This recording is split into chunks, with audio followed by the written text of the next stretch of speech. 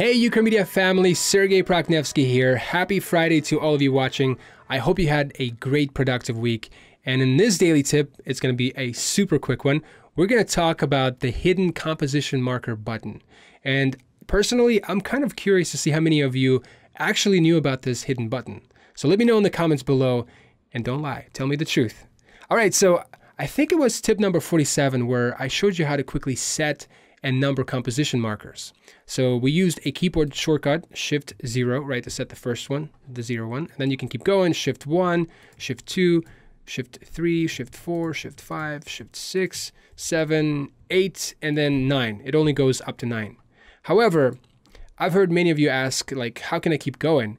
And obviously you can use a keyboard shortcut asterisk to create a new composition marker and make sure nothing is selected in your composition and just hit asterisk and then you can have one there. Then you can double click to label it and go in here and type 10 and then hit OK and you can do it that way. However, that's one too many steps and it can take you a while to do it.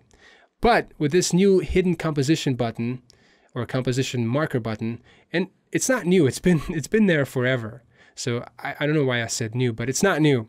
And it lives right in here. All you have to do is just click on it and then drag and drop and as you can see, it picks up where you left off. So if you left off at 12, then it's going to give you 13 and so on.